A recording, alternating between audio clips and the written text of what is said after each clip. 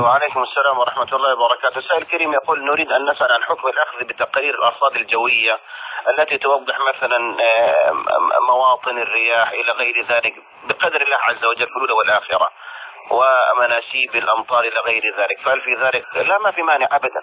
لا مانع أبدا. هذا يدخل في باب التعلم وفي باب التعليم وهذا جائز. ولا شيء فيه معرفة الأنواع ووقتها والنبي عليه الصلاة والسلام أرى أن المطر قد تأخر عن إبان زمانه عنكم.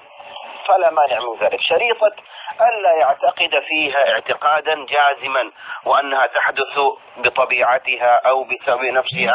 لكن كل شيء يحدث بقدر الله عز وجل وممكن يتأخر وممكن تصدق هذه الأنواع وممكن ما وما تصدق. لكن الإنسان لا يحاول أن هو يعني يعني يثق في ذلك ثقة كاملة أو أن يقدمها على ما قدر الله عز وجل أو يكون ذلك سببا في وقوعه في الشرك. لكن إن أخذ بها أخذا عاديا فلا مانع من ذلك. فالنبي قد قال آه، كما في الصحيح أرى أن أن المطر قد تأخر عن إبان زمانه فوعدهم لأنه خرج واستسقى. عليه الصلاة والسلام. والله أعلم.